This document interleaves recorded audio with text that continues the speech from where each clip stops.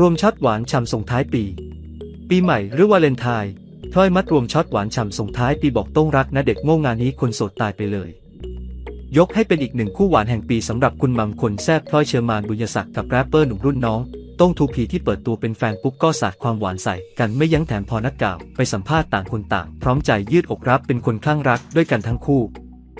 ล่าสุดคืนส่งท้ายปี 31 ธันวาคม 2566 สาวพลอยมัดรวมรวมช็อตหวานฉ่ำตลอด ทั้งปีที่ผ่านมากับแฟนหนุ่มทั้งรูปทั้งคลิปที่บอกได้คำเดียว คนโสดตายเรียบพร้อมแปะแคปชั่น 2023 เป็นปีที่สุดที่สุดมากขอบคุณนะที่รักกันรักนะเด็กโง่ ซึ่งหนุ่มโต้งได้เข้ามาคอมเมนต์ด้วยว่าฮอฮอ I love you ครับ